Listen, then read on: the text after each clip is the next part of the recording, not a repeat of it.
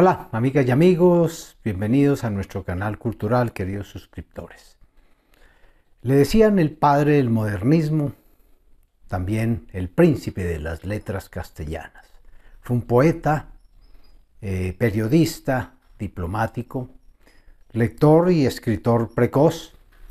Había nacido en 1867 en Metapa, Nicaragua. Estamos hablando de Rubén Darío. Félix Rubén García Sarmiento eh, ejerció el periodismo en Centroamérica, en Chile, en Argentina, fue cónsul, honorario de Colombia en Argentina. En 1898 viaja por Europa, fue muy reconocido en Francia, en España. Eh, dentro de sus obras podemos mencionar Azul, prosas profanas, cantos de vida y esperanza. En 1916, de cirrosis, Rubén Darío muere en León, Nicaragua. Pues bien, eh, de este gran poeta nicaragüense, Rubén Darío, les ofrecemos con gusto su poema Nocturno. Los que auscultasteis el corazón de la noche, los que por el insomnio tenaz habéis oído, el cerrar de una puerta, el resonar de un coche, lejano un eco vago, un ligero ruido.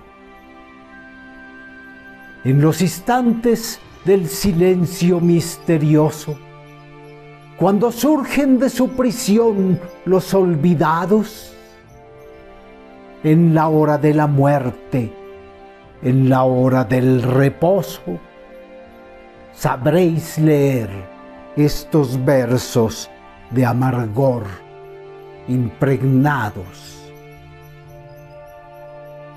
Como en un vaso vierto en ellos mis dolores de lejanos recuerdos y desgracias funestas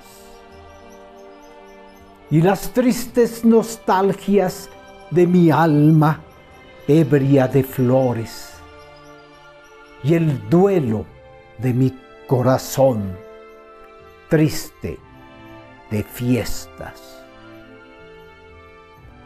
Y el pesar de no ser lo que yo hubiera sido y la pérdida del reino que estaba para mí el pensar que un instante pude no haber nacido y el sueño que es mi vida desde que yo nací.